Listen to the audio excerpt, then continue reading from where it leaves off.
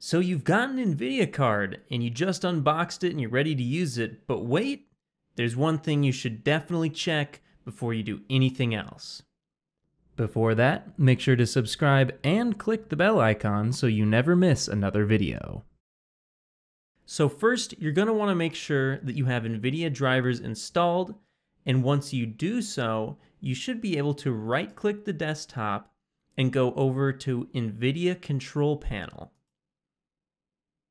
Once it opens up, the next thing you should do is head over to Adjust Video Color Settings. Now, if any of these settings I talk about aren't here, just try and reinstall a driver and they should appear. If you're using a laptop, there is a chance that it won't work. But on desktops, this will definitely work. So once you click on Adjust Video Color Settings, click on With NVIDIA Settings instead of the default with Video Player Settings. Once you've done so, hover over Advanced, click it, and change it from Limited to Full.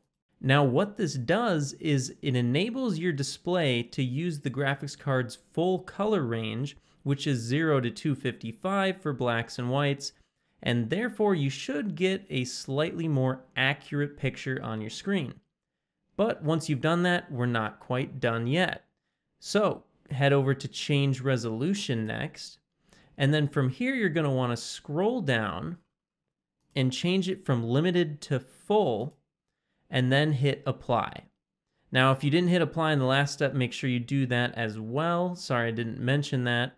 But once you've hit apply on both of these settings, you should be good to go and getting the full color range so you don't see any sort of banding.